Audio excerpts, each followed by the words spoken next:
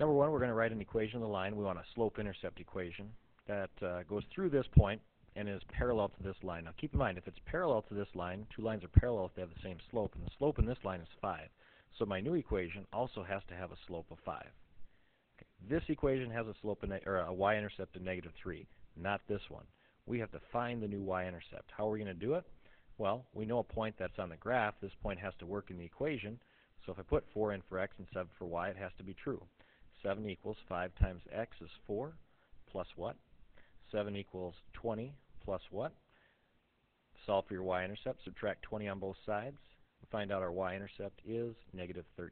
So your full equation then would be y equals the slope, which was parallel, it's going to be 5, but this line has an equation of negative 13. Another way you could do it, you could do a point slope equation too, if you prefer that. You could say, well, y minus my y coordinate here is 7. The slope has to be parallel, is 5.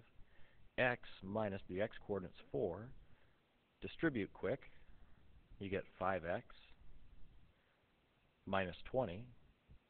Get y by itself, add 7 to both sides, and y equals 5x. Negative 20 plus 7 is, oops, not plus, but minus 13, the exact same equation.